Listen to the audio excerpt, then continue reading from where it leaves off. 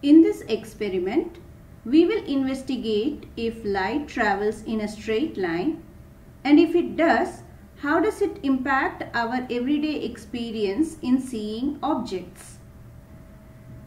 For this experiment, we will require one or two foam sheets, a piece of thread, a cutter, a candle and a lighter or matches and three or more CDs.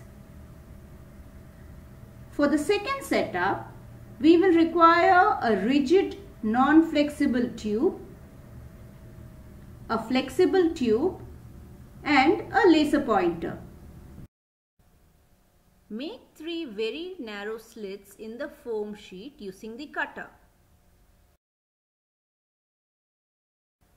Ensure the slits are deep enough for the CDs to sit comfortably in. Make the slits long enough so that the CDs can be rolled up and down the slit. Use two foam sheets if required.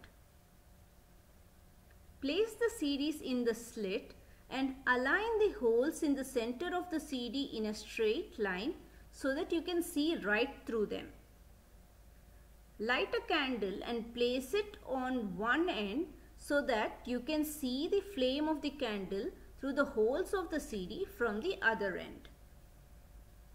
Now try passing a thread through the holes in the center of the CD and look at the setup from the top. You will see the thread is going through all the CDs in one straight line. Remove the thread and roll one of the CDs to the left and one of them to the right and keep looking through the holes. Is the flame still visible when the holes in the center are not lined up? Why is it not visible anymore? Now try passing a thread through the holes again. Is the thread bent or is it straight?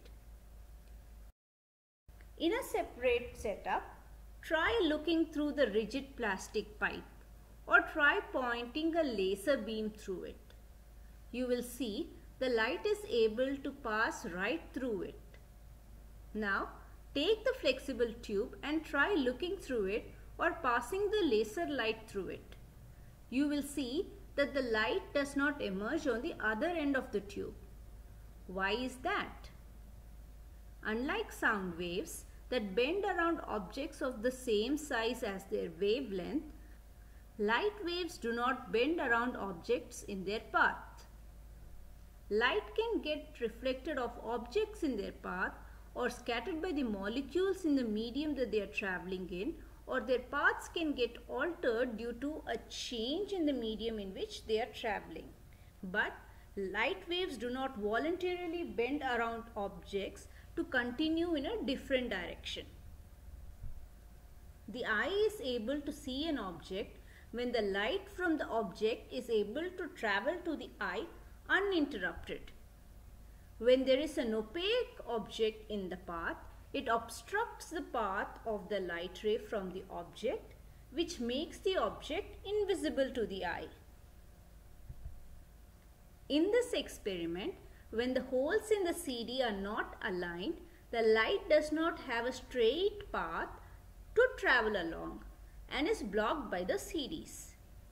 This shows that light travels in a straight path and does not bend around objects such as the CDs here. For the same reason, light can travel through the rigid pipe but not through the bent pipe. This property of light is important to understand how it behaves when it falls on or passes through various mirrors or lenses.